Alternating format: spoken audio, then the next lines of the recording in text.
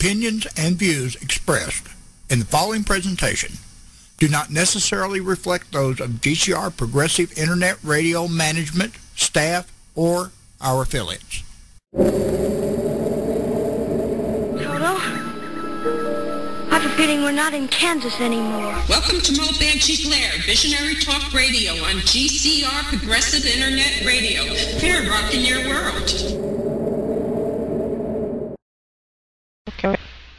And good evening, and I'm going to tell you this, whoops, has been some kind of a uh, couple of days, um, and today we played Beat the Clock to get the um, program on so I could connect to the station, which is in Missouri, and I am not in Missouri, and I don't want to move to Missouri. So thank God we got this whole thing working together because um, I, I don't know all about this technical stuff. I know ghosts, that's what I know, and I know people and I know animals, but I don't know all this technical stuff. We have a really awesome show for you, and I'm so glad I could get uh, my guests on tonight Willie Windwalker and Karla Morningstar Leg- Ledger. I guess it's Ledger, L E G E R, Karla? Yes. Okay. Uh, they're going to be on in a minute. Um, I want to uh, remind everybody that animals are, um, you know, it, the weather's turning. It's getting a little rough out there now. Uh, so please, animals, I know a lot of us have been raised to think, well, it's just an animal, you know, and a dog goes outside but you know, even uh, even if you're going to put a dog outside, you have to make sure that it's got a dog house. It's got water every day. A frozen bowl of ice is not water, and and you have to protect the animals from the elements. And because things are getting so tough right now economically, animals are being dumped at an alarming rate. I just this week uh, got a kitten. Uh, we brought him in uh, last week. My daughter captured him in, in, a trap, and I took him to the vet. and the, And the little booger was only six weeks old, and he's blind in one eye, and he's got a horrible heart murmur. And this is because somebody threw one of its ancestors out and they've been inbreeding and nobody's been spaying these animals. And this is what happens when you don't take care of animals and you think well I'll just throw it out. Please don't throw animals out. Please remember if you take it to a shelter hopefully it'll get a home. More likely it'll probably be put to sleep because right now people are dumping animals like there's no tomorrow. So please uh, you know remember to report uh, animals you see in distress. Report animal abuse, if you see an animal you don't think is being taken care of, you know, just call the ASPCA, call somebody and try to get some attention to it. Uh, I just had another uh, horse uh, on my Facebook, somebody said this horse is starving to death in New York, and I can't imagine how people drive past this horse every day and don't see it starving to death. I just don't understand it. But then I also understand people are afraid of getting hurt and getting involved. And animals deserve better than that. We're supposed to be better than that now. I thought the hippies were going to fix all this, but evidently they haven't. And please be mindful of animals and children. In a depression, I've never seen an empty gin mill. I always see cars and bicycles piled up by gin mills, and then animals and children are the ones that suffer. So everybody, please be mindful of that. Um, another thing is check your elderly as the weather gets uh, cold. Elderly people tend to go back and say, oh, when I was 20, I used to sit in, you know, four degree weather and we were in a cold water flat and we only had the heat. Well, you're not, you're not, you know, 20 anymore. You're 80 now. So you have to physically go check your elderly. Make sure their furnaces are working. Make sure they have uh, whatever they need to run the furnace. Make sure they're not walking around with candles uh, to try to heat the place up because uh, some years back, somebody by my daughter, the old lady was walking through the house with a candle, set the whole house on fire. So families have got to really step up to the plate when it comes to their senior citizens. And I'm hoping everybody will post it on their Facebooks and Twitter. Check on your senior citizens. You know, if we all get the message out, maybe we won't have terrible, terrible accidents. Um, the, the uh, government is now in its second full week of being shut down, and I'm going to tell you, I don't miss it a lot. Uh, but then again, we um, have always worked really hard and we're not getting assistance from like welfare things. So I guess that's why we don't miss it. But if anybody's been watching the news, there was a glitch with the uh, food stamps and a dose of reality clicked in for everybody. And the dose of reality was that their food stamp vouchers, the, the cards didn't work. And if our government crashes and we really go under, there won't be any food stamps. So everybody's going to have to start pulling their big boy and big girl pants up and start figuring out how they're going to take care of themselves because you can't feed half the nation for free and expect the other half to work and try to keep everything going. It doesn't work. If you think of your house, your house is just a smaller version of the United States of America. You can only spend what you're taking in. And if you start using credit cards and you have twenty, thirty, forty thousand dollars debt you can't pay, you start getting sued and people don't want to lend you money anymore and tell you, gee, I lent you a lot of money, you didn't pay it back. That's what's happening to the United States now. It's in a much larger scale, but it's the same principle. And it's been building for decades. And I really hate all the finger pointing because this has been building for decade upon decade upon decade, social services trying to take care of people who don't want to take care of themselves anymore. I very much feel like it's like, um, what is it, the time machine? when he goes into the future and the people are just cattle and the, the people down in the, the uh, fallout shelters have reverted into these creatures. Um, it, it, you know, that's pretty much how it's, it is right now. You have people who just give me, give me, give me, give me free food, give me this, give me that, give me free health care, and then the rest of us are saying, screw that, I work hard for my money. Why should I be giving you all this stuff? Get a job. But um, that's me. So it was nice to see a dose of reality, but now it's getting scary, and I hope that the government will pull up together and start growing up and, uh, you know, start doing what they have to do. I do have crazy but news. Um, let's see. Uh, yes, I have it, and I'm trying to find it. Oh, this young lady, um, I, I guess everybody knows what the oldest profession in the world is, and um, it's not uh, racquetball, um, but it, you know it's prostitution. Uh, the Snuggery, it's called. The Snuggery is a new website that offers an hour of cuddling for sixty dollars. Uh, there's a young lady sitting here, sprawled out. Her name is Jackie Samuel. She's looking every ounce of uh, tramp. She's looking like, uh, you know, she's selling herself. And um, what it is is for an hour you can go in there and and just cuddle. And this guy Samuel told the Metro that ran the story uh, that um, he just wanted to cuddle for an hour. Uh, give me a break. Uh, anybody who saw Roger Rabbit, remember when the rabbit's under Eddie's jacket and he's bouncing all over and his Eddie's girlfriend says, "So Eddie, are you is that a rabbit under your jacket or are you just happy to see me?" This is this is baloney. This is this is just garbage. And anybody who pays $60 to be hugged by somebody, I don't care how good looking she is, um, uh, you know, uh, I'll get one of my nieces to, to give you half price. You know, I, I'll go into the business too. It's a bunch of baloney. Um, I think it's just a way of uh, calling a spade a, a different uh, thing. They don't, oh, what if I become sexually aroused during my session? They were asking, and they said, don't have, worry, it happens. No shit. She's half naked. No kidding. This guy ain't going to get, you know, excited. give me a break here. So I, I that that's crazy, but it's news, and we have one in New Jersey now. That's what brought my attention to it. So that's what's going on. We have snuggeries now where you can go get felt up and patted, and it's legal.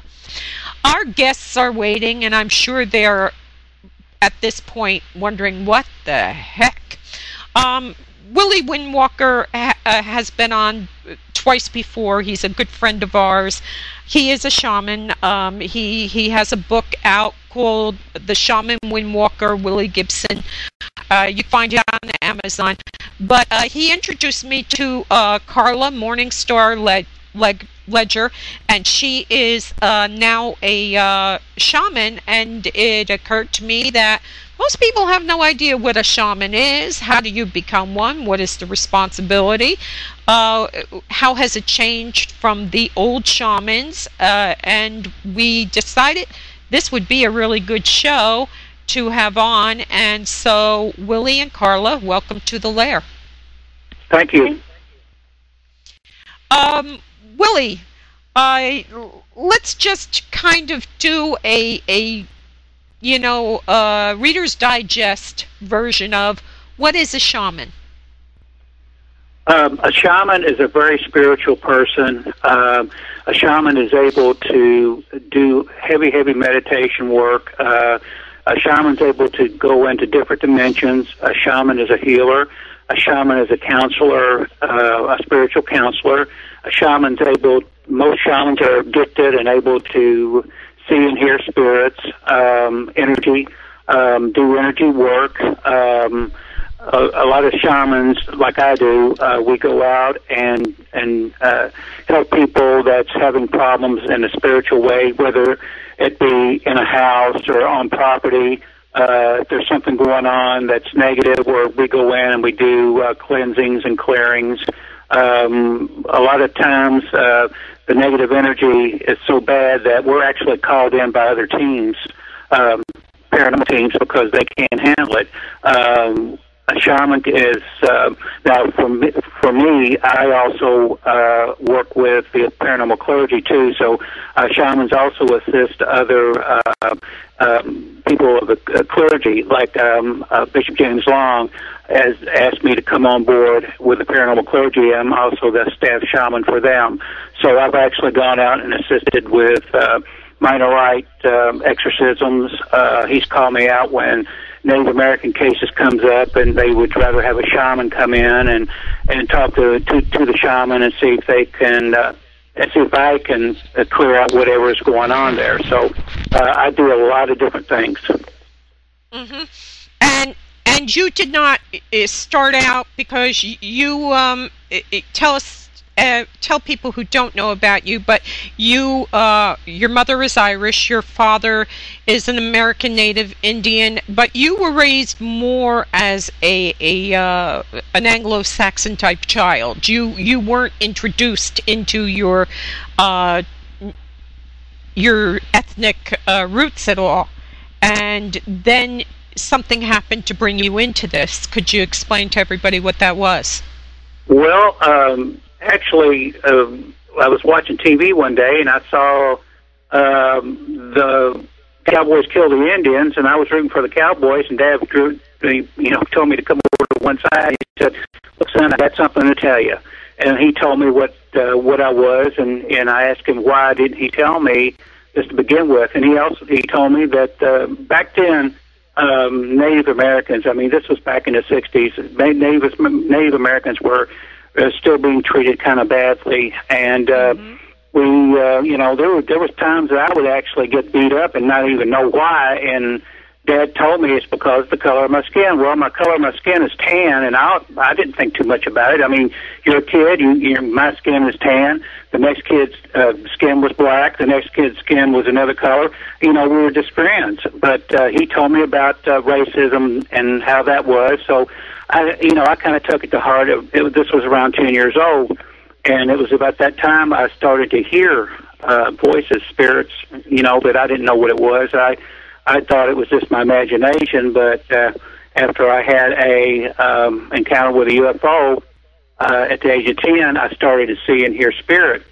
And um, I went and told my dad, you know, I started seeing, I didn't tell him about the UFO experience, but I did tell him that I was starting to see things, see spirits and uh, hear spirits, and he he more or less told me to keep it to myself. Just uh, just like he told me to keep it to myself that I was an Indian. He told me that uh, as far as I was concerned, just to tell everybody that you know I was white, and and that was it. I just I just had tan skin. So uh, he kept it. He told me to kind of keep that a secret. But uh, as I later, as I grew older, you know, I kind of said, you know what, I don't care. You know, I don't care if people know I'm an Indian.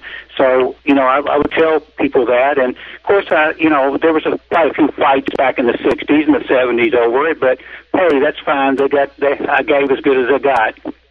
Right. Yeah, um, it, they, you know, it's really hard for people now, even people in in their 40s. You know, my kids, my daughter is going on 42, and she's she looks back and she knows it was rough back then in the 50s and the late 40s and all, but trying to explain how rough it was on American Indians back then, uh, it, it's really it's really hard to explain because people see now that this kind of behavior is not allowed. You know, even though you can't make everybody like you. That's one thing I want to say. I think we've become people that you have to like me. You're not allowed to not like me. That's not really the way it that's an idyllic way it should be, but that's not the way it is. But back then, you could stand there and yell out all kinds of fif- filthy things to people, and and that was a, that was life. You know, um, I was a Mick. You know, you dirty little Mick. Why don't you go back where you came from?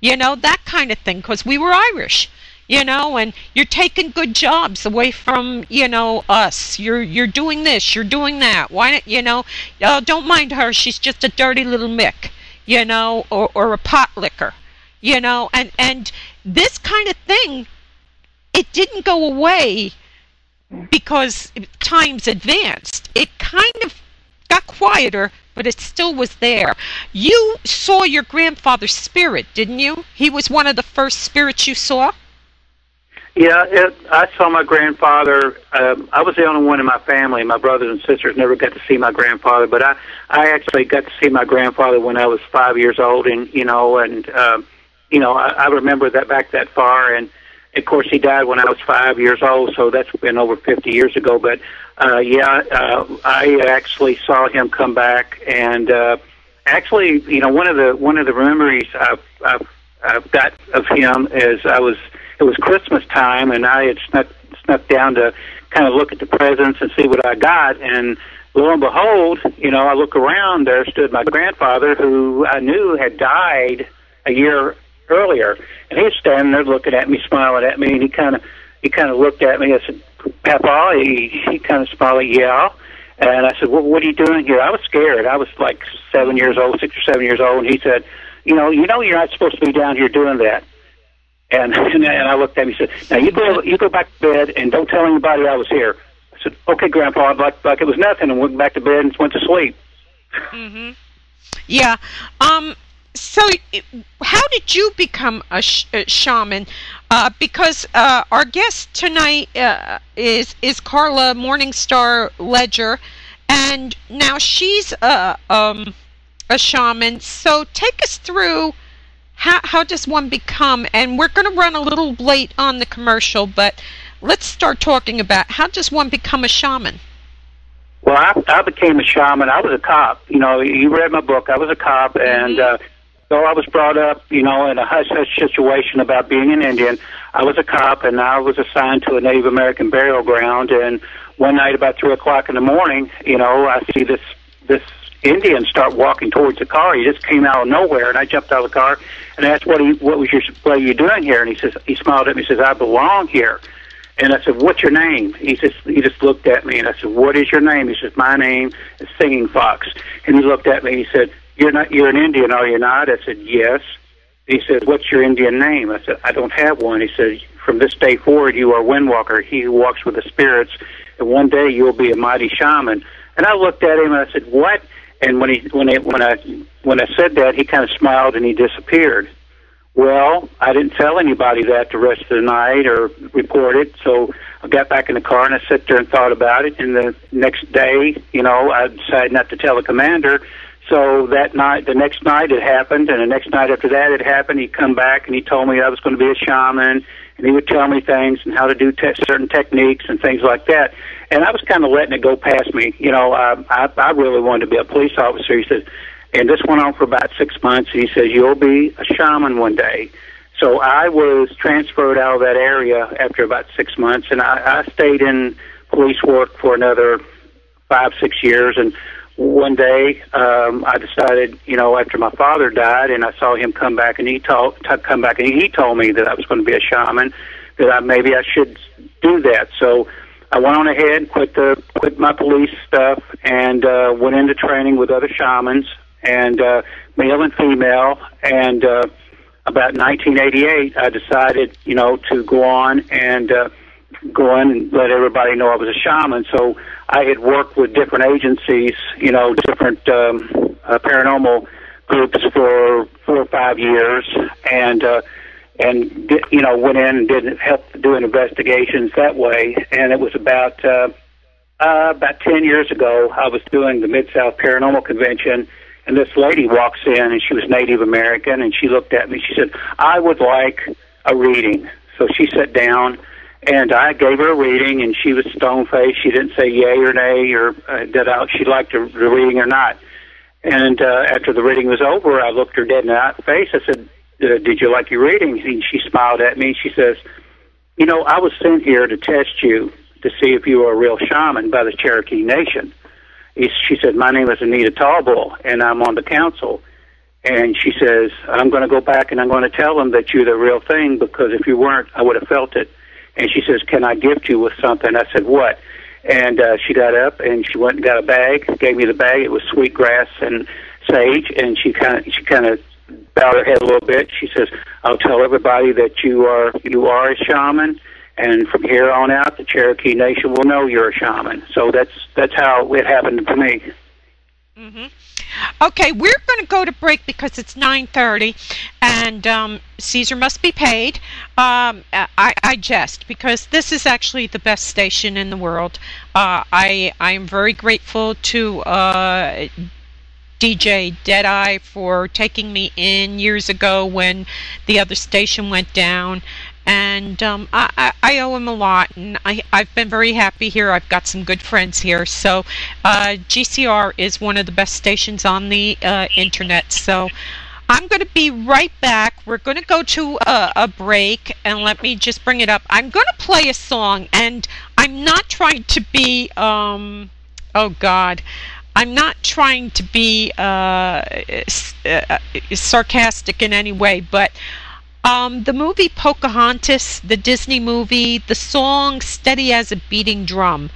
Um, I love that song. I, I think that uh, even though it's a cartoon, they did try to do the best they could uh, to bring American Native Indians into the spotlight and, and, and bring them forward. And this song, I think, is just so pretty, and it always reminds me of Willie when I hear it. So I decided tonight I'm going to play that. I'm also going to play a, a um, Native American Indian uh, Cherokee. It's called Chant of Hope. It's a Cherokee uh, song uh, piece. And then uh, towards the end, because uh, Willie and I both have Irish uh, roots, Jethro Tull Broadsword. So tonight we're going to have Native American and Irish, and we're going to tip our hats to Native Americans who uh, are amazing people to to have survived all they have and, and to be going the way they are. And we're going to talk to Karla as soon as we come back. So we'll be right back. There's no place like home. There's no place like home. There's no place like home. There's no place like home. There's no place like home.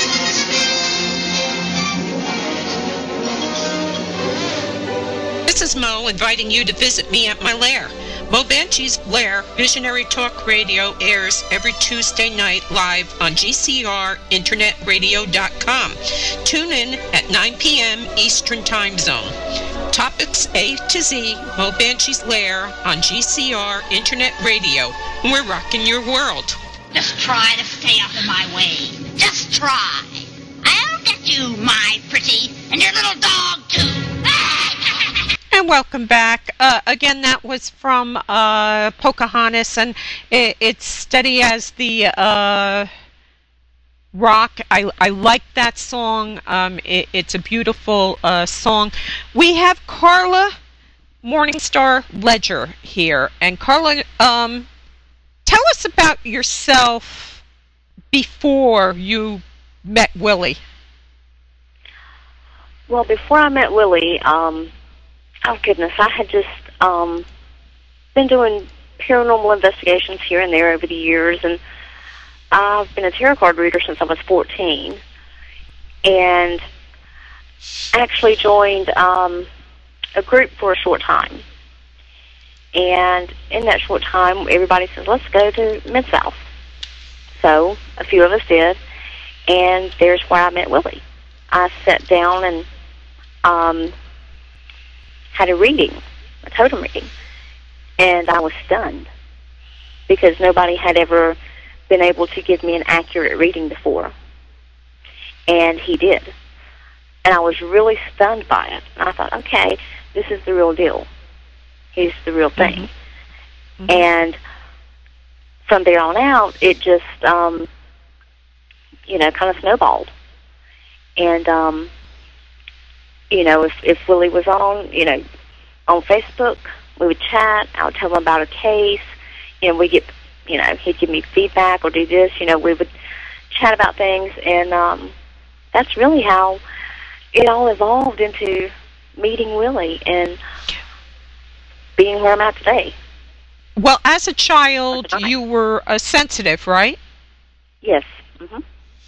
And and remember, go ahead. Right. I don't remember not seeing spirits. I, um, four, maybe five, I guess is my first recollection of it. Mm-hmm. And, and were you afraid of these? You know, I, I always ask people this because, um, you know, people see movies like The Sixth Sense where everybody looks like they've been in an accident and that kind of thing. I never saw those ghosts.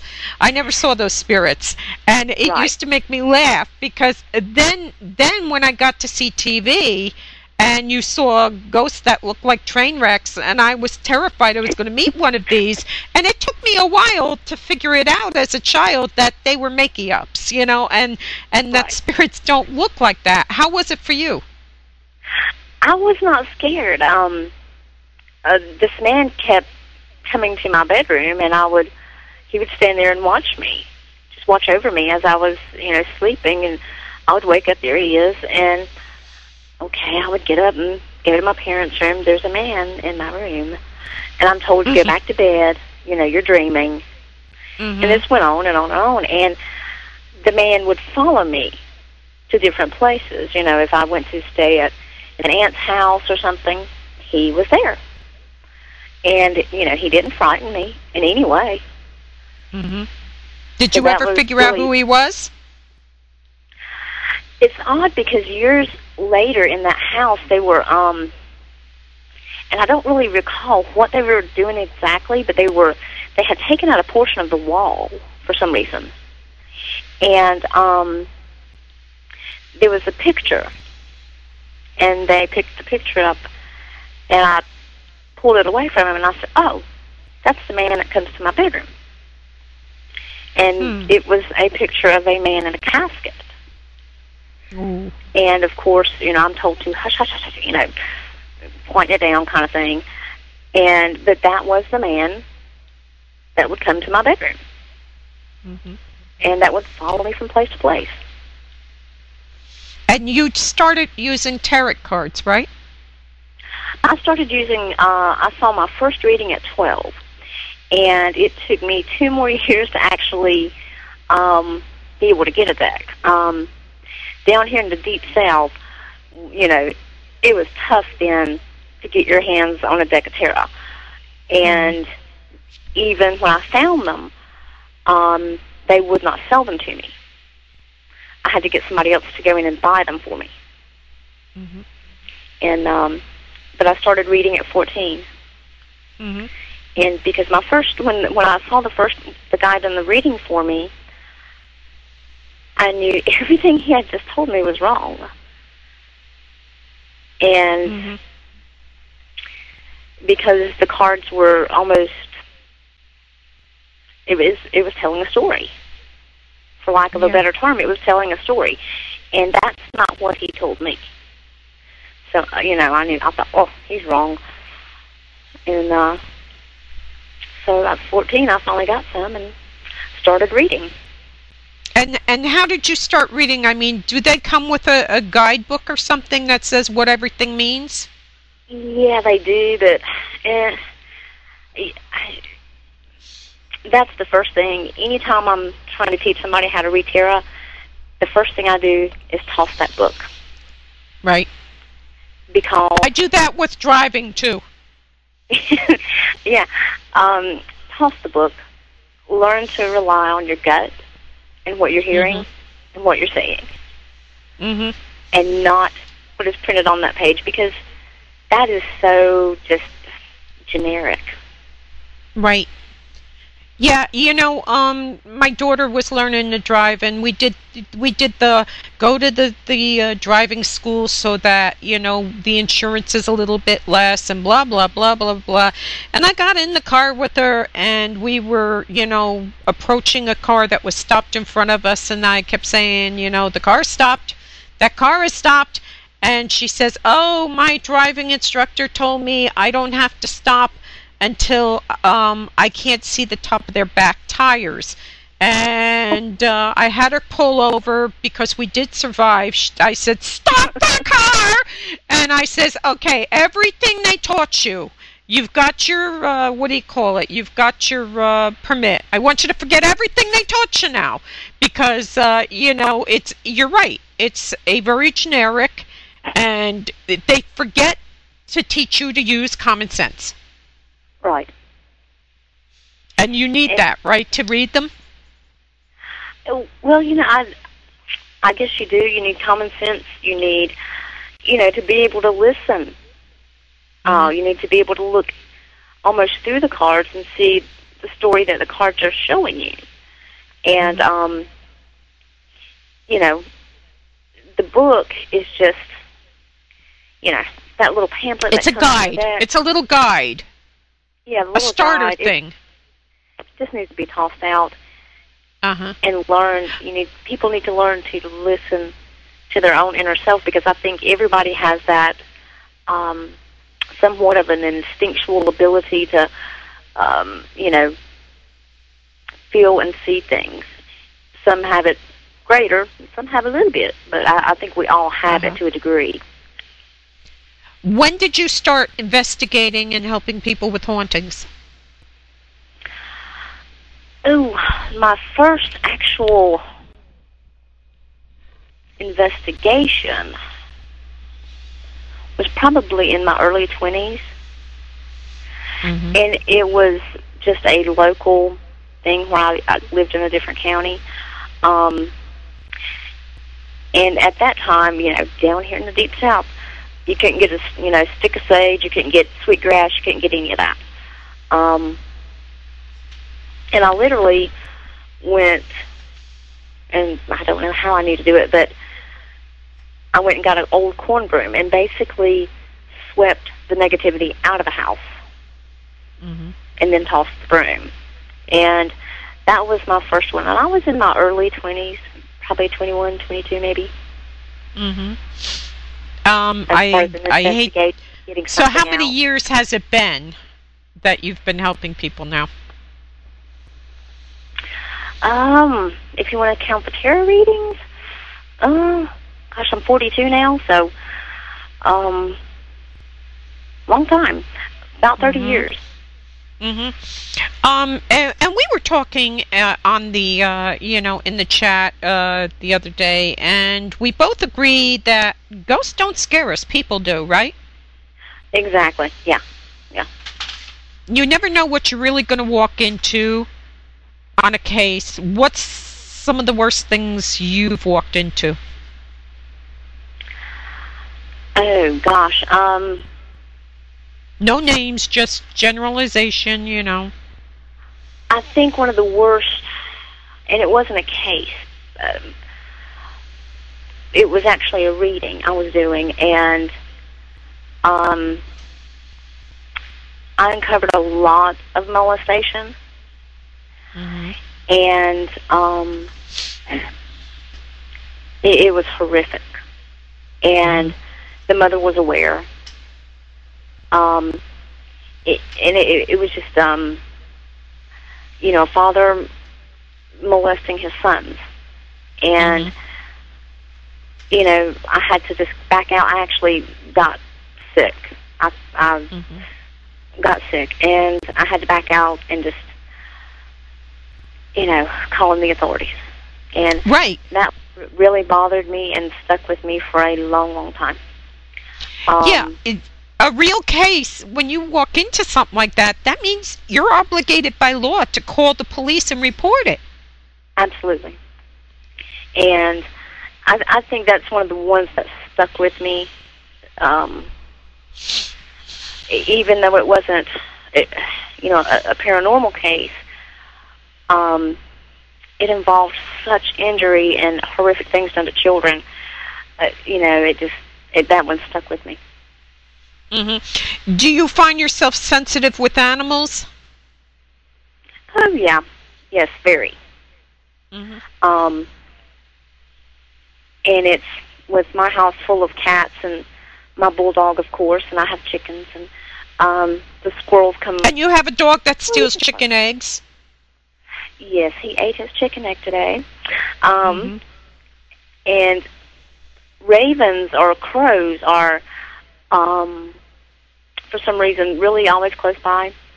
And I actually were feeding ravens straight out of my hand at one point where I used to work, and um, it was it was quite amazing. I, I really liked that. hmm So you met you met Willie at a reading. How long ago? Gosh, Willie, when was that? Six months Uh, ago? three months, four months ago. Three, four okay. And ha- when you met her, Willie, what did what was your impression? Well, you know, being being a shaman master, and I've actually entitled many shamans before. Uh, I've actually trained many shamans, but I've actually had a lot of people come to me that was actually uh, performing shaman uh, uh, techniques years and years before they even met me, and they actually sat down and I talked to them, and I gave them, you know, after talking to them, I can look around their aura and to see what kind of energy they have. Well, when Karla sat down, she had that that glow, that energy about her that told me that um, she is she was shaman because uh, a lot of shamans bring that energy back through time with them through other through other uh, lifetimes, and this energy was there. And uh, I got to talking to her a little bit and found out that she had been doing a lot of uh, investigation work, a lot of counseling work. Uh, Karla is a very good, very good with herbs. Um, she's very good with healing. Um, and uh, after after talking to her for several months, and and she Karla is, is kind of a person that don't really um, toot her own horn a lot, but she she actually goes out and does things by herself that's really really dangerous, but she has no choice because she's the only one that could do that certain thing. I mean, Karla goes out and and uh, she's had a lot of negative cases, a lot of demonic energy type of situations where she's actually had to go out by herself and do these things and clear things out. Uh, she had no uh, kind of backup at all from any kind of clergy. Uh, no kind of priests will will work would work with her because they they didn't want to take on the case. Ministers same way. So um, I knew she was shaman from a past life, and she brought that energy back in this past lifetime, this this lifetime, and she'd actually been doing the work, but not being gave the title.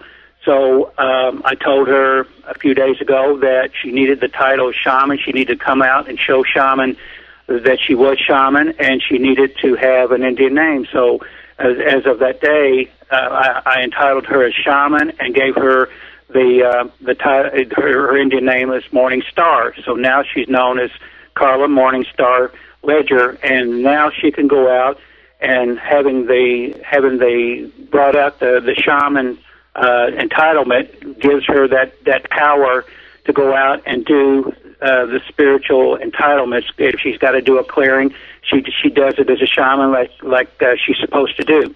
So she was always a shaman. She just needed a master shaman to entitle her to go do so, and that's what I did. Um, let me ask a question, and and it's very naive because you know I'm Irish Catholic, so I wouldn't know. Uh, uh, wouldn't don't you have to be a Native American to be a shaman, or or that's just uh, you know a mistake on my part?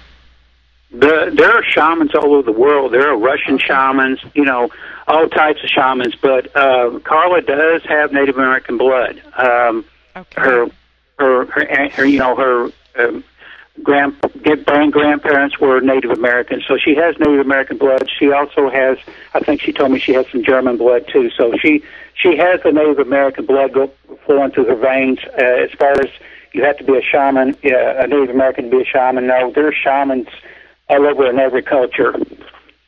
Well, yeah, you know they're they're called different things in different uh, uh, you know cultures and stuff. Wise men, uh, you know that kind of thing. Uh, lions Uh, are called kahunas, you know that that type. But Yeah. they're still they're sh- they're still shaman. Yeah.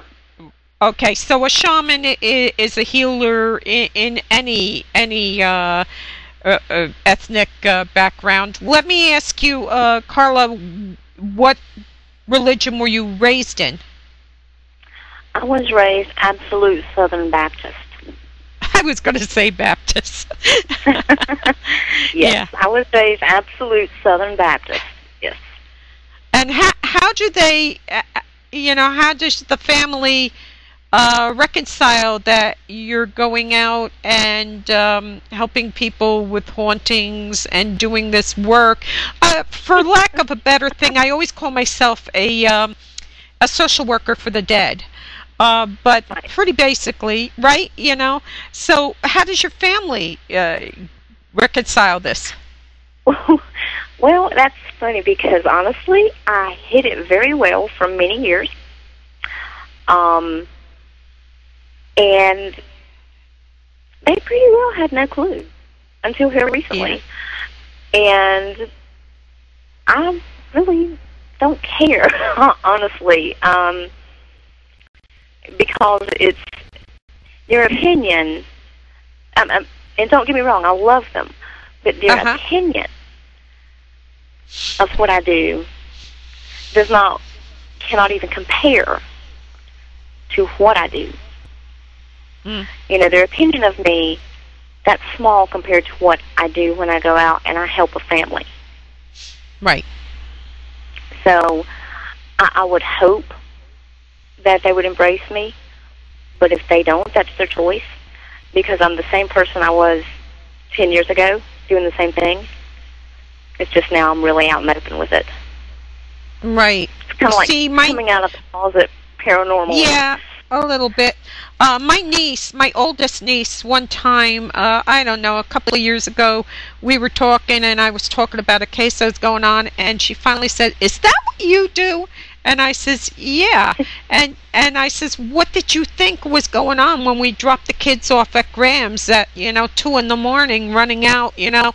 I says, "What did you think? We didn't love them or something?" You know? and, and it, it kind of never even um, crossed my mind that they didn't understand what I was doing. I mean, my father, my mother did, you know, my sister, you know, everybody, uh, but the, some of the kiddies didn't quite grasp it, I guess, and it kind of shocked me that. How did you not know? You know, uh, even my sister says, "What are you kidding? How did you not know?" She was taught by Hans Holzer. How did you not know what was going on? You know, um, ha- what? How did you learn? What did you do for resources when you were young? You know, I like I said, we you, know, then you couldn't get a stick of sage. Um, and I remember as a child watching my grandmother make um, corn brooms. Uh huh. and, and that was one thing that I that slipped back in my memory. I thought, gosh, you know, she made such great corn brooms, and and that's where I got the idea to, oh, okay, energy is energy, and it can be moved with something, you know, positive. And I took, you know, a corn broom and swept, you know, the negativity out, which was my first, very first um, case, and um, after that you know, that's pretty well what I did until I could you know, until Sage became pretty available. And um, hmm But did you go to like I know when I was a kitty, um, and, and I don't want to say I was Abe Lincoln. I, you know, didn't walk five miles, but I definitely walked at least four to the local library, and you know, I was scouring the shelves for anything that would help me. You know, it wasn't until my mother walked in with a Hans Holzer book and said, I think this guy is going to be able to help you out a lot, you know, and then I got to meet him and, and, and all. Uh, did you go to libraries looking for answers? no, I really didn't. Um, it just all seemed to come naturally. Yeah. um, I just would know what to do with this step and this step, you know, and, and it was really a natural process. And I know that sounds Mhm. odd. Um, and the only book I actually recall was my mother had gotten a book from the library about Ed and Lorraine Warren. And but I was only ten or twelve. And I remember trying to read it, but I didn't understand it. Yeah, I have the same Uh, problem with them. I didn't understand it. So, you know, everything that I that I do is, is pretty well, you know, I'm told what to do. You know, mm-hmm. by my guides, or it's just the feeling. Okay, this is the right thing. I need to burn this sweetgrass here after I, you know, cleanse this house. Yada yada. You know, it's it's come really naturally. It's is that is that what drew you to her, uh, Willie? That she has that natural ability. Well, like I said, when I when I first saw her energy, I knew that she had the the shaman uh, background from previous lifetimes. Oh, she that's what she's doing. She's starting to access that a lot of that now, and it's coming natural to her. I just brought out a few other things that that that um, she caught on to to where she understands what's going on now, and now she's you know like I said, she's good at you know at her herbal uh, treatments. She's good at her energy uh, healings. Um, she you know she she does all of her uh, investigation work alone because you know she there's nobody around there to actually help her. She is it. That's why she needs to to come out and say, yes, I am a shaman. I've always been a shaman through all my lifetimes. Um, Karla, uh, we we've talked quite a bit. Uh, when you're on a case, I, for me speaking for myself, I'll use anything that'll make my clients stand up and and stand up for themselves because that's usually what you really need. You're going to leave, they're going to be there. Um, do you find that to be true? You know, find find what they get inner strength from. Do you uh, do that too? Um, usually by the time it gets around to me, they're pretty whipped. Um, and generally when I go in, I will cleanse the house, you know, figure out, of course, what's going on first. And then um, do a cleansing. Then I usually go back and sit down and tell them, you know, this is what you need to do to empower yourself, you know, to keep this from happening again. You need to let go of the past. You need to, you know, I I never encourage people to uh, yell or scream at any, Right. you know, any spirit or entity. Um, Right. I don't. I think it kind of has the opposite effect. Um, yeah, to piss some of them off. Right. And um but yes, I I do go back once the you know, I do the cleansing because usually I'm pretty darn tired after that. Right. But I always go back the next day or a day after and you know, teach them some things they can use in their own home and I always encourage them to find, you know, some sort of religious um you know, following church, anything, you know, to help them through. And most people, some people take the advice. I've found, you know, it's about half and half. hmm Yeah. Um. It, it, one thing that I try to explain to him is, I I have to leave. You're going to be here, and this is what happened, and now you have to stand up against it. And and the reason I do that is because when I first had my first demonic, My mm-hmm. father said to me, You got to go back. This is your test. You're the one that's got to stand up against it. And that's when it clicked, and I went, Oh my God, you know, you always knew about this. Why didn't you say anything? And he just said, You know, this is your problem. You got to go back and hand it because I wanted him to come back with me. And he said, No, no, no, no. You, you're the one that's going to have to stand it down now. You're the one it's attacking. And when you have a client, you kind of have to do the same thing. Um, scariest, uh, scariest scenario you've come up against? Did you come up? Have you come up against anything that you thought might be in over your head? Oh yes, I um, was working a case one night, and it was actually I could feel there was something there, and I kept thinking, saying it was under the bed. It was under the bed, but there was nothing under the bed. But there was, and I knew there was.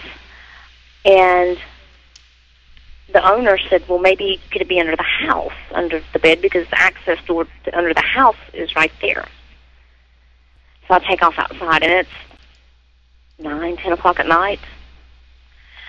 I crawl under the house with a flashlight, and I'm crawling, and I get to this site, and I thought, "Oh, this is not good." And you know, I'm just sweating bullets, and and you know, I'm getting the nauseous sensation, and, and I thought this is not good.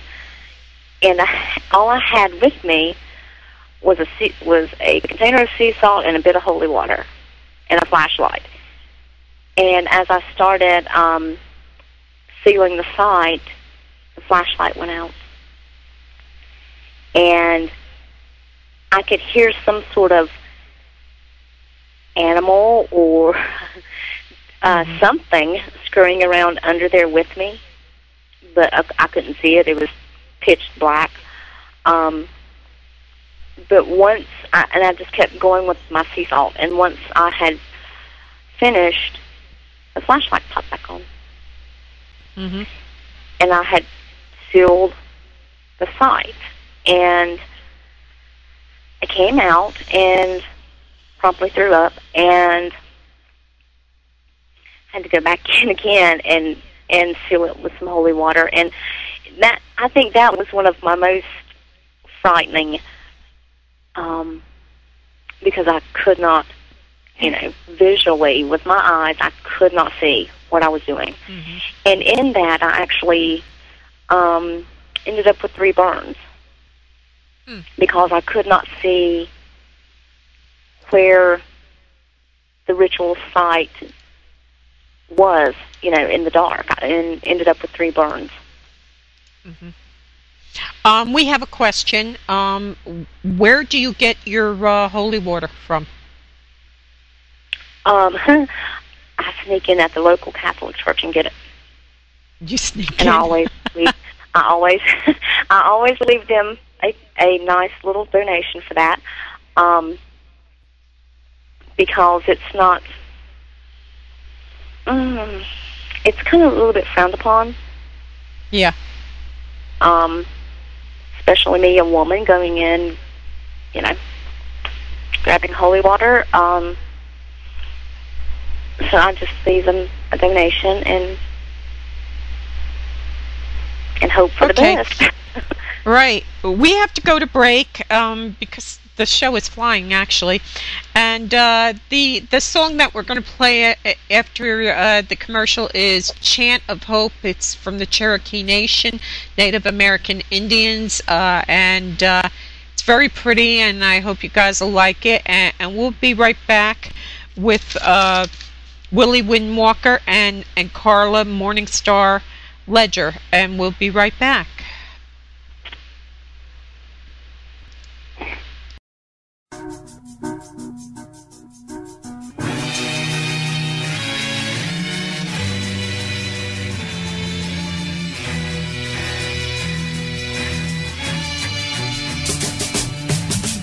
Bill Staten, your resident Beatles expert. I listen to GameCon Radio. Why?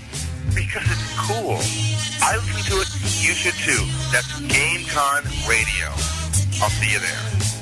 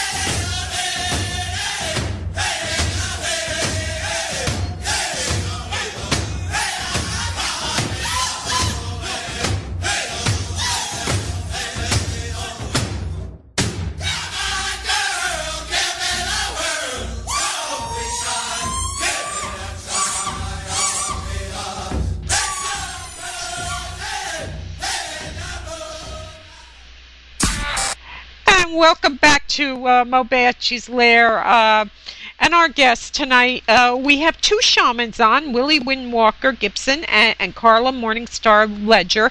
And Karla is a new shaman. Um, evidently, she's been a shaman most of her life, but now she has the title to go with it. So I'm going to start asking um, some uh, questions to you guys.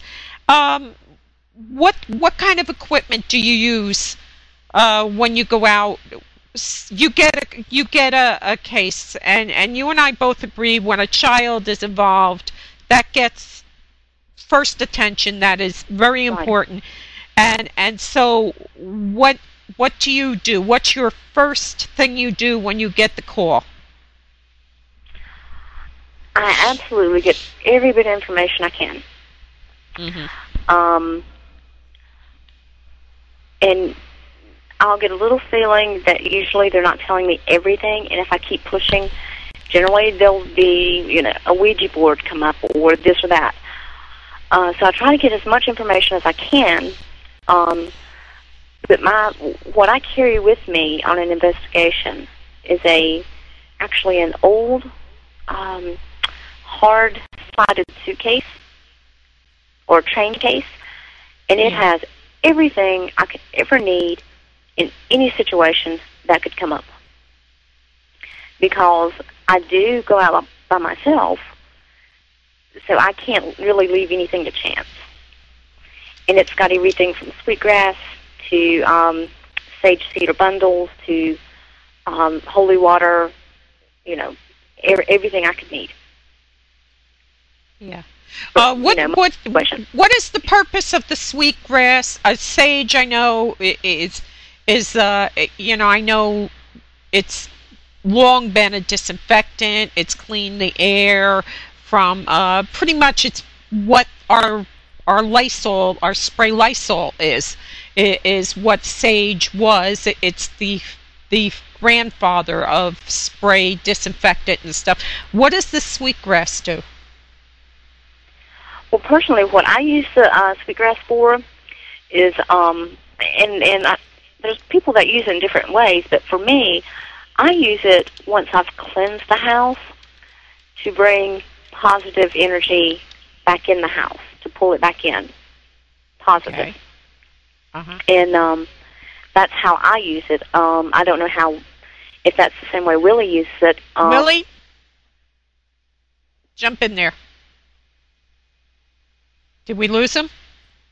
Uh oh, did we lose him? Uh-uh. Did we lose him? Let me find Willie, you out. there? I don't know where he is. Okay, uh, because he's still on. Oh, wait. Nope, I did lose him, evidently. So let me see if I can uh, add people to this call. Let me try.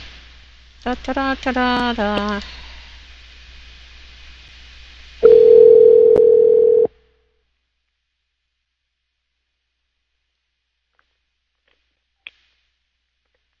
Hello? Did we lose you? Yeah? sorry, sorry, I didn't realize that. We were talking about sweetgrass and sage, and I was asking Karla what she her thoughts on sage are and sweetgrass. What are your thoughts on sweetgrass? Um, it's like any other tool that you use. You got to be very, very careful with sage or sweetgrass. Uh, when I go in and I do a walk through a house, um, I got to know what I'm doing before I before I start pulling out, you know, sage and sweetgrass. But they are very effective. Um, you know, I have used both of them. Um, a lot of people don't realize if you do not sage a proper way or use the sweetgrass a, a, a proper way, uh, it's not going to work. Uh, a lot of people, uh, you know, I said, you know, uh, I said if you're going to use sage, let me sh- show me how you use it. And they'll they'll pull out a little spray and they'll light it up and there'll be a little bit of smoke going around. I said, no, no, no, no. That that's you're not saging. You're just you're just you're just uh, spinning your wheels there. Let me show you how to sage. And I'll fire up the sage or, or the sweetgrass, and I'll, I'll make it look like a London fog in there. I said, now that's how you sage. Um, and and of course it, it's like anything else. You you start at the innermost and you you force it out, right? Yeah. hmm Um, I was asking uh, equipment. Do you use uh, cameras and an EVP, Ca- uh, Karla? Do you record voices? You know, uh, all that jazz. No, I don't do that. Um, very rarely, um, you know, sometimes I'll have somebody, you know, that's in the house snap a couple pictures if I feel that something's close. Um, but usually, no. Um, Mhm. I don't use any of that for the most part. Hmm Well, you're usually by yourself, so if something goes missing in Right. a house, I mean, um, you know, when you know most teams, uh, especially now with all the people getting involved in this, you hear so much about theft now. And, and you know how the homeowners are finding things missing and stuff. So I like to have our cams, so I know where everybody is. So you know, if something goes missing, I know pretty much who did it, and it's not our team, you know. Um, Right. let me ask. Uh, what do you think uh, about? What do you do when you prepare to go out on a case? Well, it, it depends on on what I've already found out. Um, you know, if it's just an evil entity, um, generally, I just pick up my case. I, I actually pray and do a lot of meditation before I go. Um, but once I start, you know, I just pick up my case with everything in it, and um, go and do a, do a walkthrough and that's really my preparation is prayer and meditation beforehand. Mm-hmm. And without that, you know, that's you're kind of walking into a, you know, or, or I think a hornet's nest. Otherwise. Mm-hmm. I always ask for discernment. You know, give me wisdom and and use me that I might glorify you. That's I I'm not in this to to to make myself this big I don't know celebrity or whatever when I when I have a case, I I tell God, you know, use me that you get the glory. You know, use me to help these people. You know, it's not about me; it's about them, and and right. getting some kind of comfort into this uh, house. What do you think about all this stuff on TV the last ten years? I think, just my opinion, I think it is a great learning tool of how not to do it. yeah, yeah. Uh, I think it's a great way to show everybody how not to go out and do an investigation. Yeah. Um, I. Do you post pictures? Uh, do you have a website? I do not post pictures. No. No. Uh, and and um, how do people learn about you? Well, actually, just over the years, it's been word of mouth. Right. Literally, I've never advertised. I've never, uh, you know, it was just word of mouth. Oh, here, you know, I know this weird girl over here that, does, you know, she's kind of into stuff like this. Maybe. Well, we were weird people. I we know these people. yeah. So, you know, it was just really a word of mouth thing over the years. Um, I never done any type of advertising.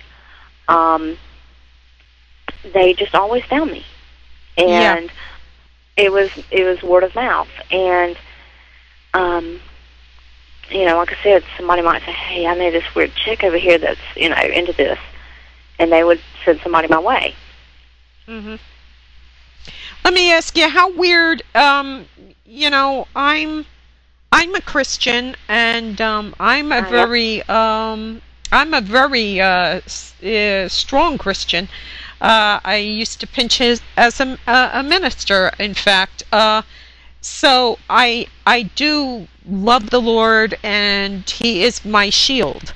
I don't need to right. go out and beat up people because He's my protection. You know, He's my shield. Right.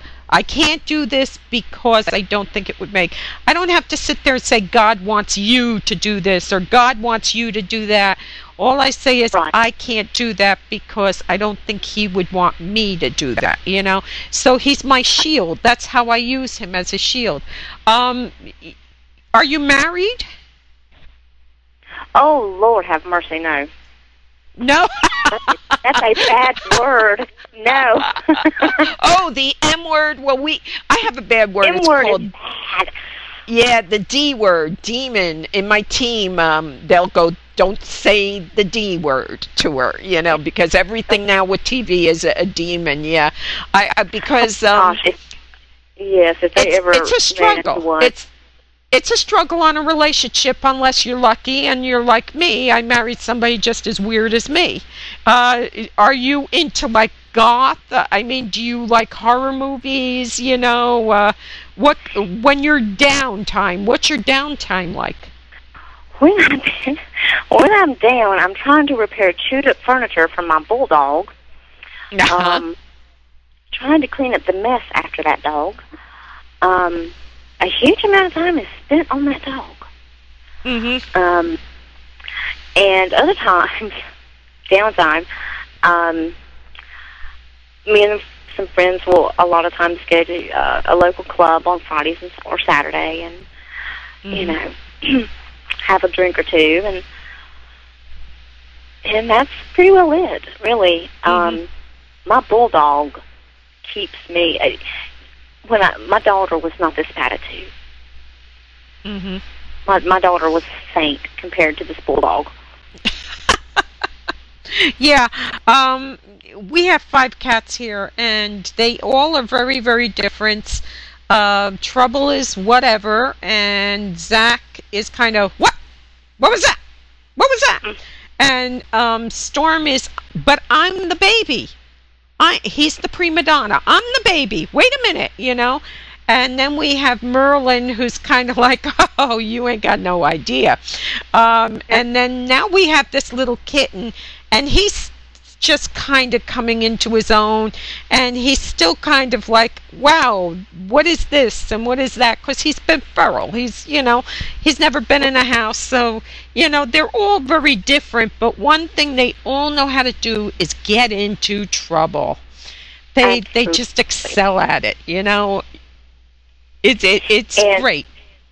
Yeah, and having the bulldog and also having cats, it's a constant. Um, well, Ralphie, my old orange tabby, bless his heart, the bulldog runs up to him, and Ralph has to, you know, slap him around a few times, and then, you know, and then it's a run, just a just a marathon through the house.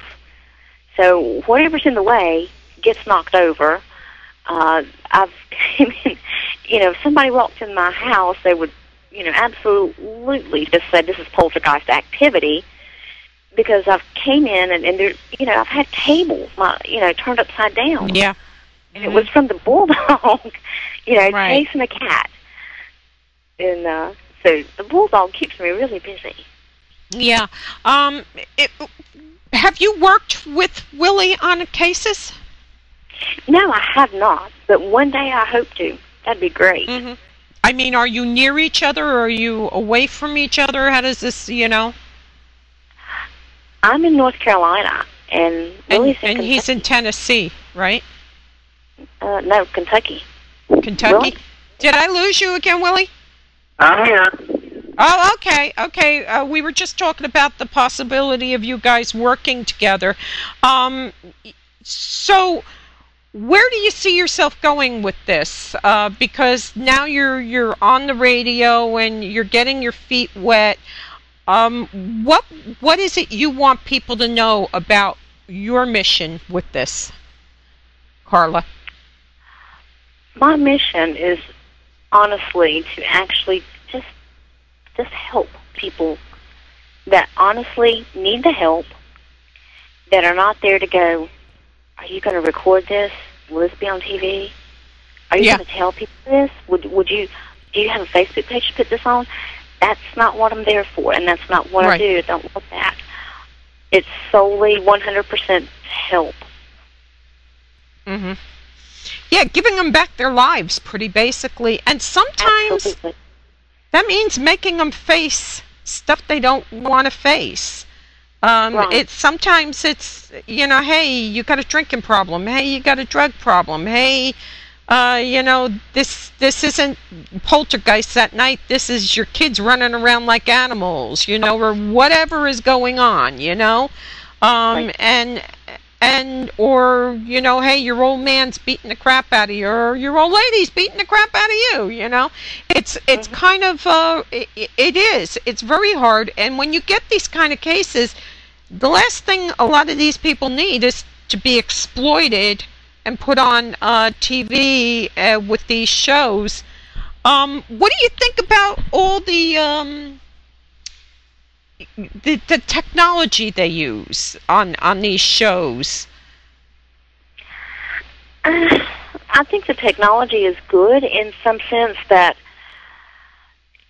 in you know, in a few instances, it does, um, you know, give credit, you know, as far as EVPs, uh, you know, that there are disembodied voices, um, you know, and but there's almost too much technology. Um, I think so much of it can be faked. Mm-hmm. Um, Wishful thinking. you know, especially with um, you know with pictures, those can be faked really quickly. Um, you know, I, th- I think there's a good side to it and a bad side. Yeah, Willie, what do you think? Well, when I first went out, it started going out with teams. I didn't know what the heck they were doing. I didn't know what an EVP was. I didn't know what a laser grid was. So I actually had to go to school, you know, and learn how to what they what they were doing, and they had to kind of stand back and see what I was doing. So it was kind of the best of both worlds. But I usually tell them when I if I do go out and assist a team, just let me do a walkthrough, and I'll walk back out and I'll tell you my opinion of it then you go in and set your equipment up and see if you can get anything on your equipment. But uh, you know, as far as me using anything, uh, I do. uh, You know, I, I, I use myself, and I don't have a lot of equipment. I, I mean, I have I have uh, film equipment, but I, I don't usually take it out with me now. Uh, we did go out a couple months ago, and uh, we did visit uh, one of the oldest cemeteries in Louisville, and uh, we did do a DVD. Bishop, Bishop Long did a DVD just to show what my Soul Warriors does. Now, Soul Warriors, we got, you know, I put a team together called Soul Warriors, and we are sensitives, and Bishop Long is on my team, uh, Kat Lang is on my team, my, my wife Shaman, myself, and uh, Brian McAuliffe. Now, Brian, usually he'll stand back, and he might have a camera. He's also sensitive, too, so he might have a camera and, and take a few pictures, but we did the DVD just just to show exactly what we do when we do go on a case, and uh, I just we just put the, the the equipment down and let it roll and let people see exactly what a sensitive does when they do go out and work on a case from start to finish. And uh, actually, uh, you know, the cemetery was was really. Uh, really messed with. I mean, people were buried on top of each other, uh, six six deep. Uh, uh, mausoleums were broken into, vaults were broken into, ashes were scattered. I mean, there was a lot. There was a lot of unrest there, and there still is. But I, I did the best I could to, uh, you know, kind of relieve the tension. Uh, uh, Shimon, we did some ceremonial stuff there, Native American ceremony, and uh, did releasing. So we kind of calmed it down a little bit there. But uh, we, I, I, I too don't don't take a lot of equipment with us. Uh, usually we're called out after a fact, after an investigation's done by a team that says, "Hey, we found something here. We can't handle it. You guys go in and see what, what if you can help." So we do that, and uh, as of about five years ago, I just decided uh, just to go out and do the case from start to finish myself. And uh, uh, if the if the client wanted some kind of proof, I mean, we could give them EVPs. We can show them stuff on camera, but usually we don't use a we don't use a whole lot of stuff. We just go out and um, take care of whatever's going on in there. I mean, if we run into a demonic, I mean, we've got Bishop Long there.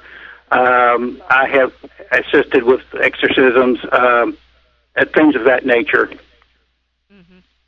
Yeah, um, a lot of this equipment was never designed for what they're using for. It's very interesting, but at the end of the day, for one of our cases, it, it really doesn't mean much because I'm not there to collect evidence. I think too many too many teams now that are they're all about collecting evidence so they can prove there's some kind of activity and we all know there's activity you know we all know there's spirits we can't explain it um, and don't ask me why God doesn't make everybody go to heaven. I don't know why, uh, but that's His job, and that's cool. Um, I'm not going to ask for that job because uh, I know I would suck at it. Um, you know, I mean, I probably would be, you go to hell, you go to hell, you go to hell, you know, so that's why I don't have that job. But a lot of this equipment they use is just um, smoke and mirrors, in, in my opinion, and it just makes the field even more muddy and cloudy and, and stuff like that. When we come back, I'm going to ask you uh, both what you think the most important things uh, in a team is. Uh, the most important um, characteristic of, of a team. Um, I'll have to ask you what you think the most important thing is that you do uh, because you don't have a team. But Willie will have to tell me. And Willie, you're we're going to talk about you have a convention coming on, a Paracon in St. Louis next year, right? In In October. Louisville. in Louisville. Okay, and uh, also uh, I want to remind everybody that Rose Hill Cemetery in New Jersey is going to be having Halloween tours of uh, the Rose Hill Cemetery. It is the most haunted cemetery in New Jersey. It dates back to uh, the 1800s. It is the perfect example of a garden uh, walk cemetery. The back when uh, horses were messing on the roads and all that stuff, and there were flies. People were looking for places to walk, and they decided to make cemeteries these beautiful art places where you could see beautiful uh, art and, and monuments and there would be fountains and there would be ponds and the kids could play uh, with their balls and things and you could lay out a picnic thing and you could walk up and down and that's why all the uh, monuments started becoming so huge and better than this one and better than that one um, it is also the resting place of the uh, victims from the 1906 uh, shark attacks that the book uh, Jaws is based on. That's a real story uh, that pretty basically is exactly like the movie, only in 1906 uh, kids were swimming and a shark came up Matawan Creek uh, and uh, nailed one of them. One of the boys ran back and got Stanley Fisher, who was working in a store. He ran back, got a boat, and tried to get the boy's body and the shark, shark nailed him.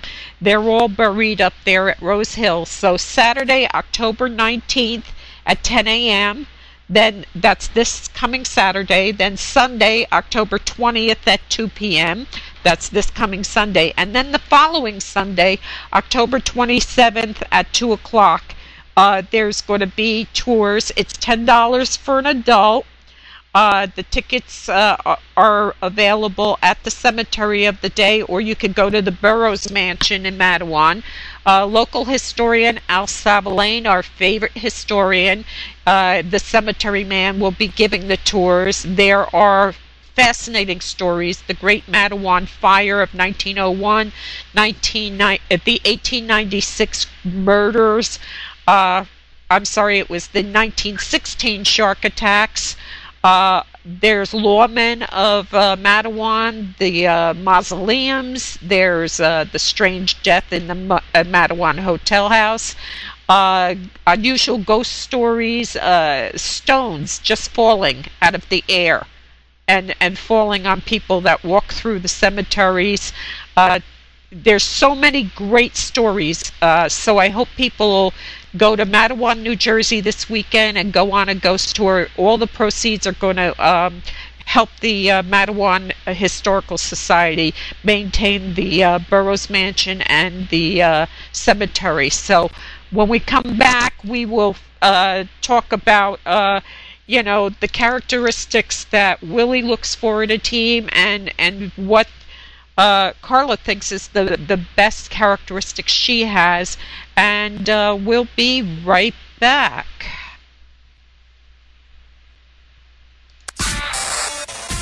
Whoever said size does not matter never heard of us.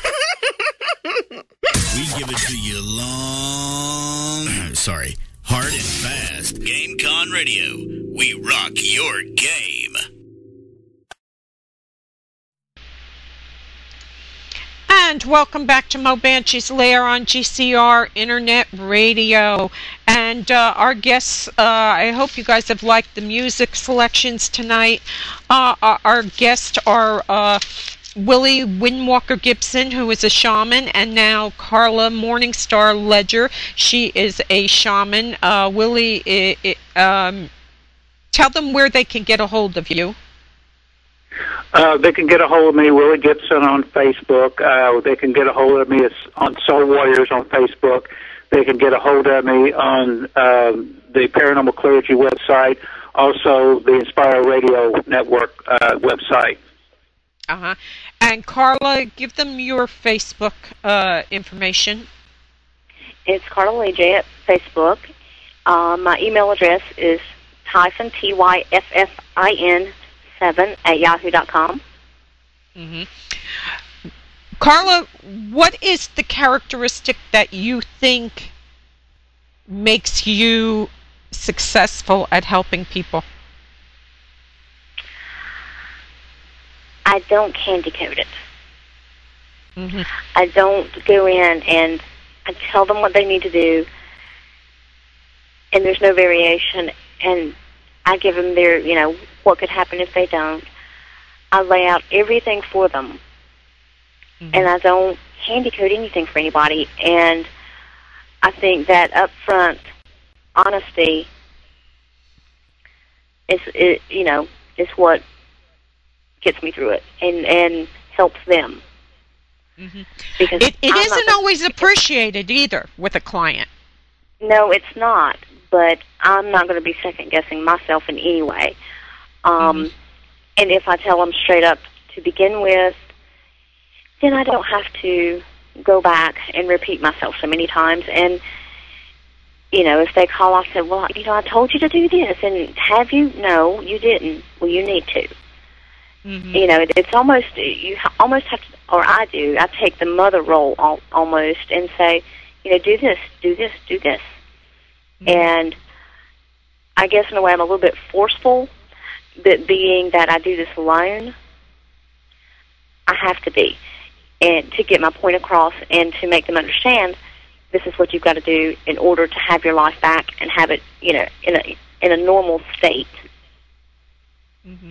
So I think me being pretty upfront is what is a good thing for me Mm-hmm. as far as what I bring to people. Yeah, keeping it real and, and um, not not telling them what they want to hear, especially Exactly. when 99% of the time it has nothing to do with the ghosts. There may be an army of ghosts there, but that's not the real problem, you know. Right. And now you've got to deal with these people with abuse or some kind of issues, mental illness. I mean, I had a case I was brought in on um, and uh, this this very famous demonologist told this girl she had four demons on her, and then he walked out. And as it turns out, she had a chemical uh, problem, uh, depression, and uh, she ended up almost killing herself. And I had to intervene and get a hold of the police and everybody else. And then she ended up in jail. And at first, she hated me for it, but then she realized oh my god you know you saved my life you know? Uh, and people don't want to hear that all the time. It's dangerous.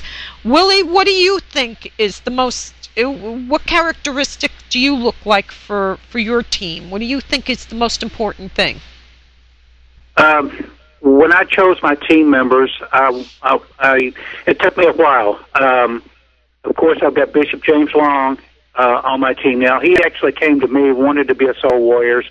He said, "I'm, I'm Native American. I, not a lot of people know this, but I'm Native American, and I'm also a bishop of the Old Catholic Church, and I'm a de- and I'm an exorcist, but I also have my Native roots." And he says, "I want to be with you, and I want you to." you know, uh, teach me um, the shaman and shaman's way. So um, I was really honored for that, and he also made me a member of the paranormal clergy. Um, I the people on my team are very spiritual. Uh, they're very courageous.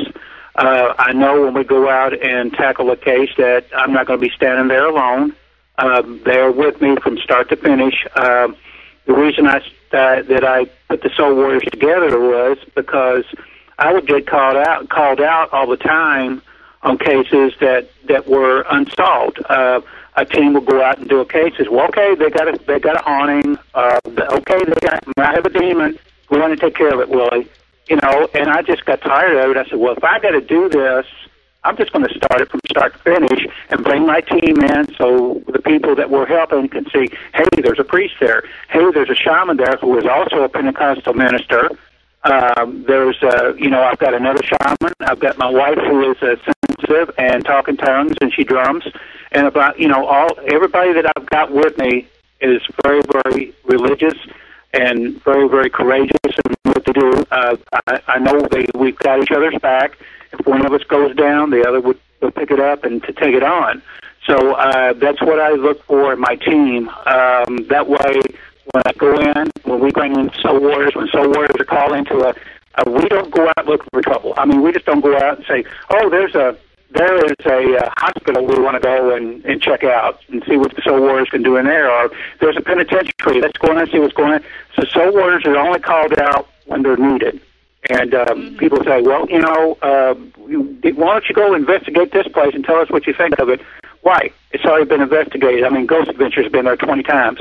What do we, you know, what do we need to go and do that for? I said, we only take cases that were really needed, that we can go in investigate what's going on and take care of business. Uh, uh, people asked me the other day, said, what, how do you handle a case when you first start out? Well, the first thing I do, I, I do the initial uh, uh, interview over the phone to see what, what we're dealing with. And then I will personally go out, Shimon and I will go out and scout the neighborhood. We'll see what the house looks like.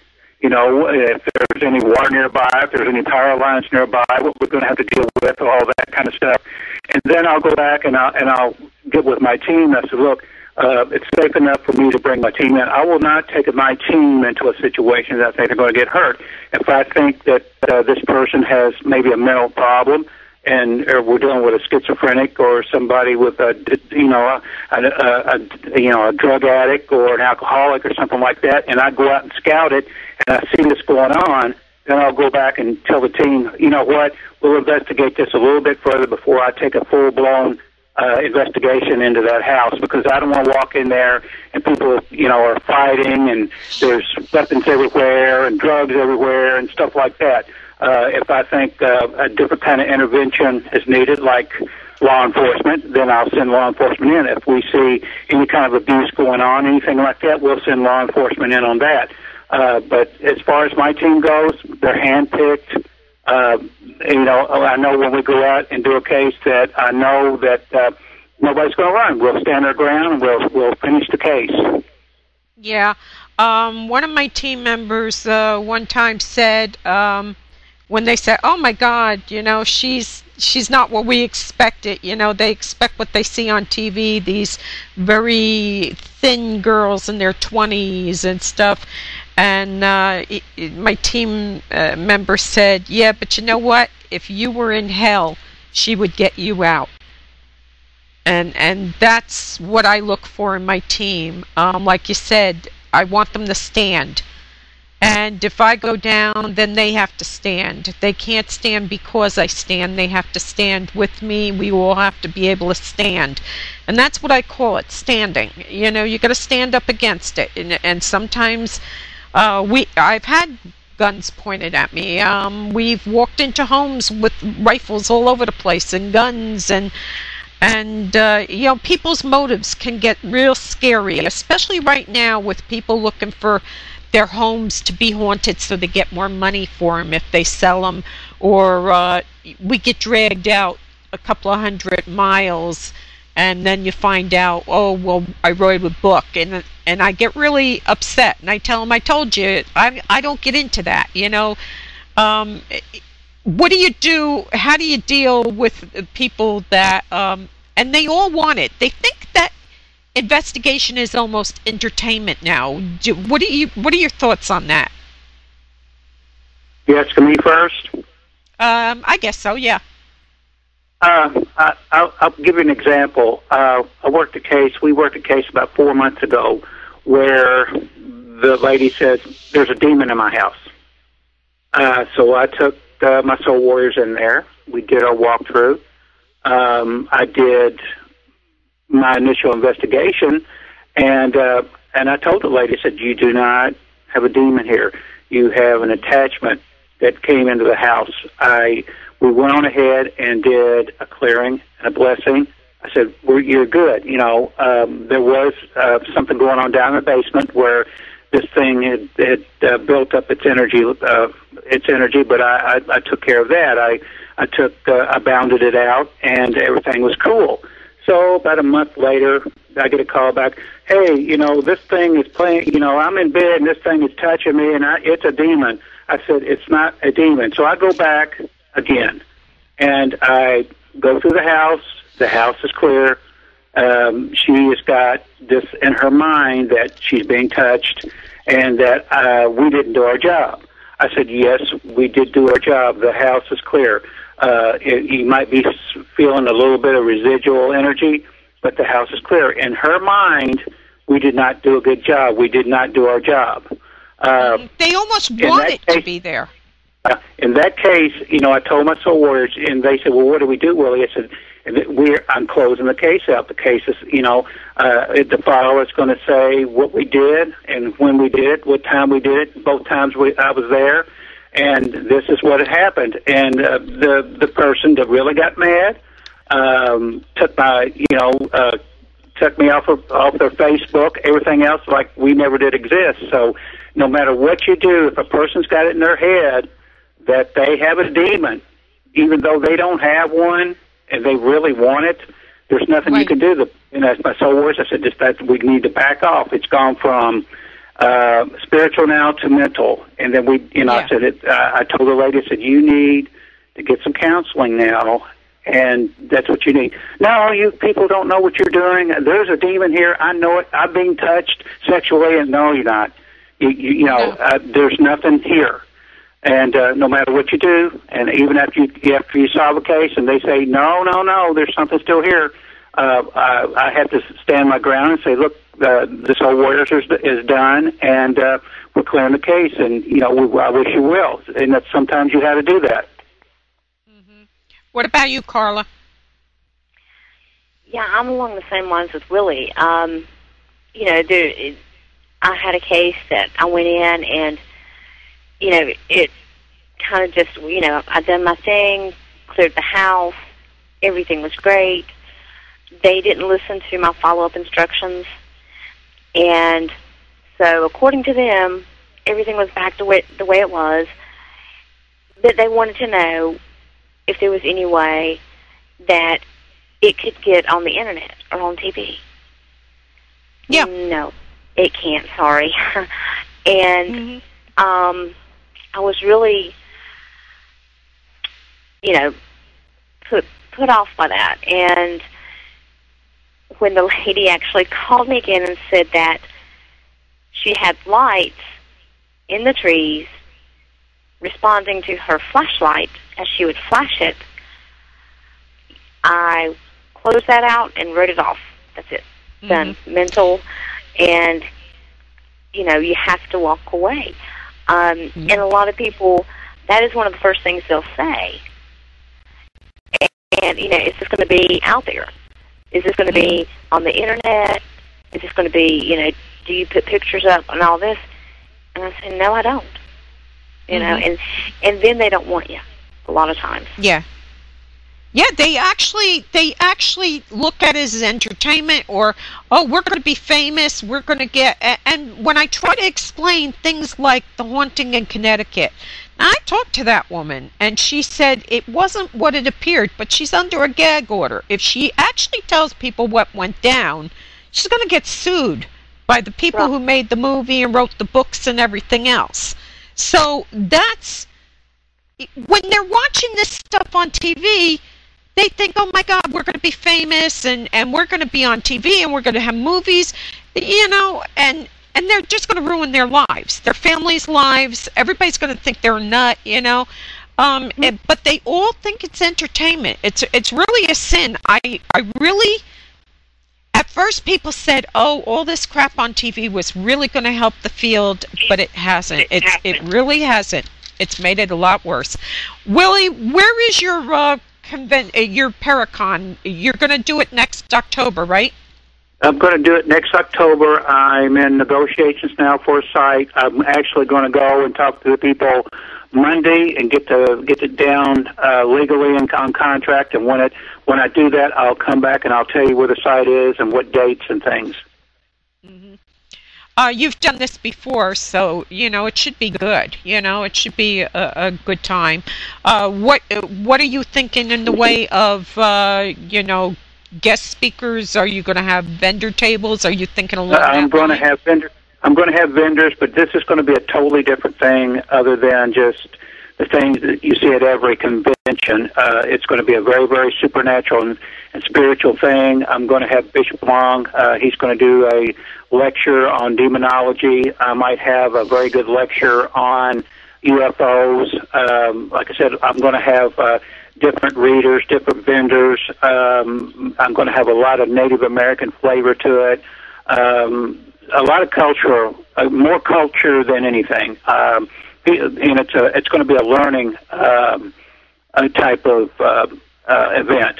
So people are going to walk in and say, "Wow, I've never been anything like this before." So that's what I'm that's what I'm out for. Mm-hmm. And uh, are you planning on attending it there, Karla? Oh yes, I will be there. Absolutely. Cool. I want to thank you both for coming on. Um, I I hope that this was a nice, easy evening for you both. a lot of information. I think we had a really interesting discussion about everything, uh, and I hope you both come back when you've got more uh, going on. How was it for you guys? Great. It was a great show. Yeah, it was great. Thank you. Yeah. Um, and again, uh, Karla, give them your Facebook so they can find you.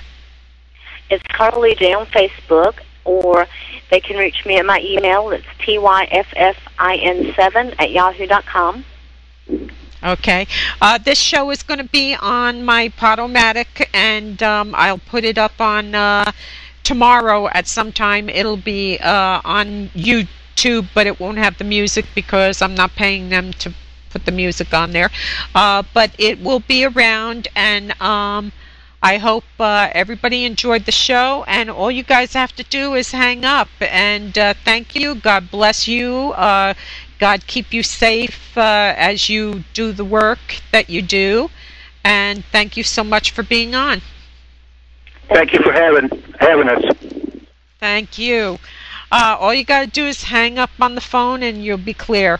Next week, um, hopefully, because today I was supposed to interview Ronnie Bryant. She is a uh, Texas girl who is a singer songwriter.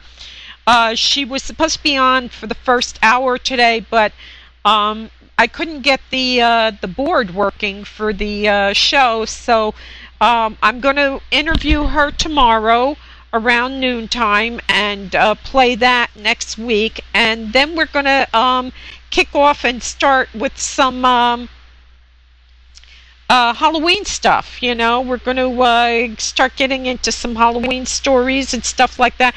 Nancy Kersey is going to be on too. She's written a book, Jonathan and Me, uh, about Jonathan Frid. So she's going to be on and uh, Ronnie uh, Bryant. And then on the 29th is going to be a totally Halloween show. So uh, I, I hope everybody enjoys it. Uh, don't forget Rose Hill. They're they're going to be uh, having the tours for uh, to raise money for the historical society. The Burrowes Mansion was a big house during the Revolutionary War in Matawan. There was a battle in the front lawn. Uh, John Burrowes was uh, a lieutenant under Washington, D- uh, Washington, George Washington. So it's important that we um, preserve our history in this country. We're a young country. We're not like England and other countries that are hundreds and hundreds and hundreds of years old with castles. Our our history is very fragile, and and if we don't preserve it, nobody else will. And everybody, I hope, uh, does well. God bless you all. I hope everybody does well during uh, this next week. Uh, and I hope maybe uh, the, um, what do you call it, the uh, Congress and uh, the President and the Senate, I hope they all grow up enough to actually get something done and get, get us to a point where we can pay our bills but uh, and stay solvent, and uh, that means everybody's got to tighten their belts. Again, thank you for listening. God bless you all. I love you all.